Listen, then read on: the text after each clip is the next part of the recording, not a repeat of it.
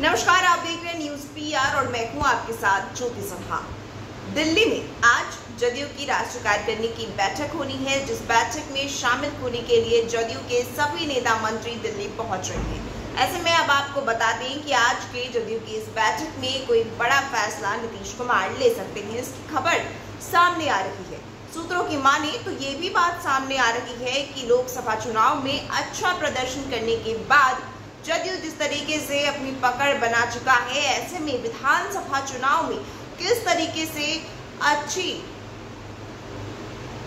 Vote जो है जनता से लेनी है, किस तरीके से फिर से जीत हासिल करनी है, इसकी तैयारी जो है जदयू इस बैठक में कर सकता है। जदयू की इस बैठक में क्या क्या मुख्य बातें हैं, ये अब तक सामने नहीं आई है, लेकिन सूत्रों की माने तो ये भी बात सामने आ रही है कि आज की इस बैठक में नीतीश कुमार अपनी कुर्सी आगे किसे देंगे? ये भी फैसला हो सकता है।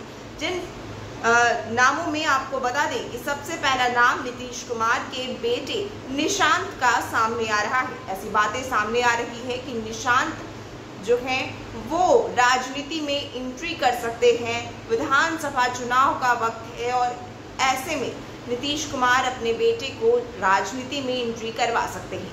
ये बातें जो हैं सामने आ रही हैं, लेकिन आपको बता दें कि यहाँ कहीं ना कहीं संजय झा का नाम भी सामने आ रहा है। संजय झा जो हमेशा ही बीजेपी से तालमेल बनाए रखने में आगे बढ़ते हैं। जब भी बीजेपी से बात करनी होती है तो संजय झा को जदयू की तरफ़ से पहले भेजा जाता है। तो ऐसे में ये भी बात है कि क्या नीतीश कुमार इस बार अपनी कुर्सी संजय झा को दे सकते हैं, या फिर इस बार नीतीश कुमार इस बार के चुनाव में अपने नाम के साथ ही विधानसभा चुनाव में जदयू की तरफ़ से चुनाव लड़ेंगे। वहीं आपको बता दें कि इस बार का जो विधानसभा चुनाव है, वो काफ़ी ज़्यादा खास हो गया है, क्योंकि लोकसभा चुनाव में जो प्रदर्शन देखने को मिला, जिसमें जदयू का अच्छा खासा प्रदर्शन बिहार में देखने को मिला। जदयू ने अच्छी वोट हासिल की और साथ ही साथ कई सीटें भी हासिल की।